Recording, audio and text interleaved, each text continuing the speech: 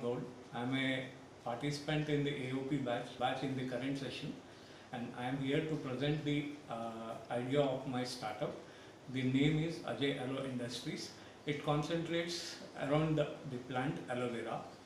Before going into any further details, a brief description about aloe vera.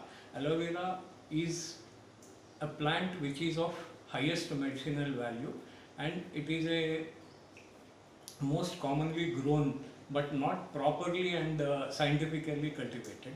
There are many species within aloe vera but the best one which offers the highest medicinal value is called as Barba dens.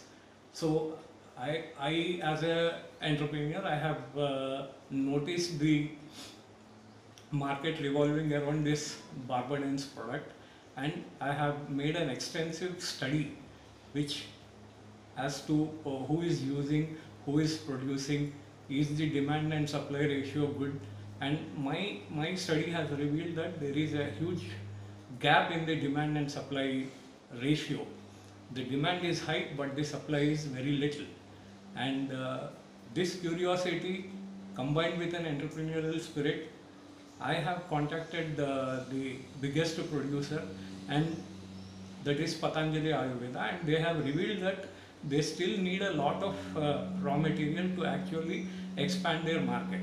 This is the this is the case not only with Patanjali but with other sectors like pharmaceuticals, nutraceuticals, consumer products and the use of aloe vera is expanding day by day. So there exists a very good opportunity for any new budding entrepreneur who makes a thorough and scientific study and commences. And the best part is it can be started on a very small scale with a very little capital and I'm fortunate to have spotted that identity, uh, opportunity.